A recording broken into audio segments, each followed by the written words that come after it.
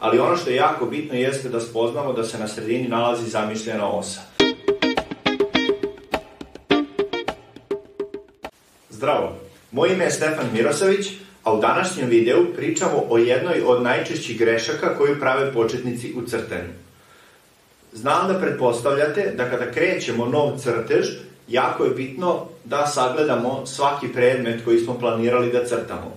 Međutim, sagledavanje tog predmeta ne treba da bude samo da ga uočimo da je tu, nego da pokušamo da ga raščlanimo zapravo zašto on izgleda upravo tako kako izgleda.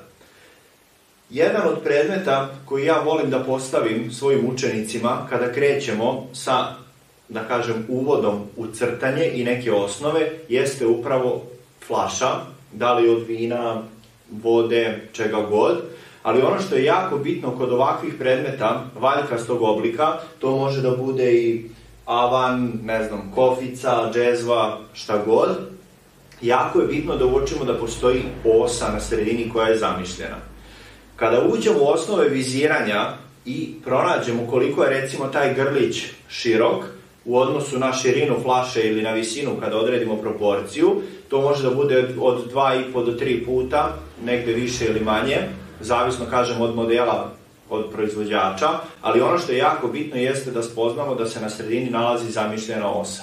I kada merenjem pronađemo koliko je širok taj grlić, jako je bitno da ga postavimo isto i sa leve i sa desne strane od te zamišljene ose. Jedino tako će naša nacrtana flaša da izgleda u proporciji. U suprotnom, ličit će kao deči crtež i zapravo može da izgleda da pada na levu ili na desnu stranu.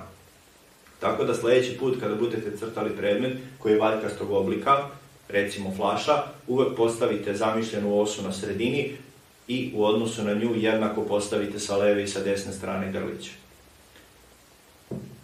Vidimo se u nekom narednom videu sa nekom novom lekcijom i hvala vam na gledanju.